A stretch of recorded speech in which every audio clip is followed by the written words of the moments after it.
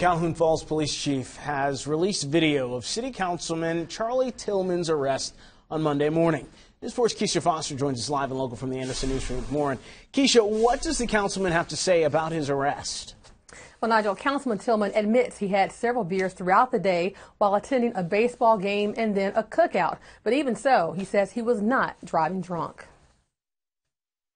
One, two, three. The video will vindicate me. This is video of 56 year old Charlie Tillman undergoing a field sobriety test early Monday morning. You had anything to drink?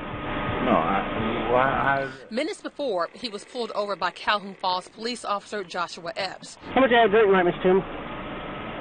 I, I drunk a beer. In an interview Tuesday with Tillman, he told News 4 he drank four or five beers in a seven hour time frame on Sunday. No, ma'am, I wasn't driving drunk. I was, might have been driving under the influence, but I wasn't drunk. Clearly, a, a good case of misconduct while in office from Mr. Tillman. Police Chief Mike Elwine says Tillman failed the sobriety test and was arrested.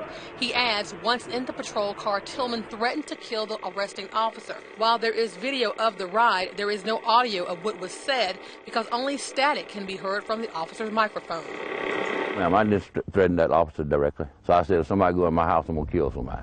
Okay, so you wasn't. I wasn't talking, I wasn't directly at him. What you charging me with? Elwine says Tillman refused to take a breathalyzer as well as a blood alcohol test. Inside the booking room, Tillman said this to officers. You got on the wrong uniform.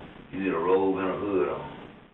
That's exactly what you need, a robe and a hood. Chief Elwine says Tillman's behavior was very unbecoming of a city leader. I'd say very racist towards the police officers, very rude towards the police officers, uh, very intoxicated.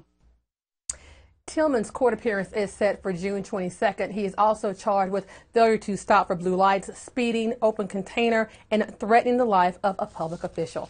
Kisha Foster, WYFF News 4, live in the Anderson Newsroom.